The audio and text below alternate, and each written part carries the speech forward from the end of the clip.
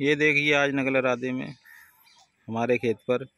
ये लौकी की हार्वेस्टिंग चल रही है आप देख सकते हैं कितने सारे लोग तोड़ रहे हैं तो इसका मतलब जो है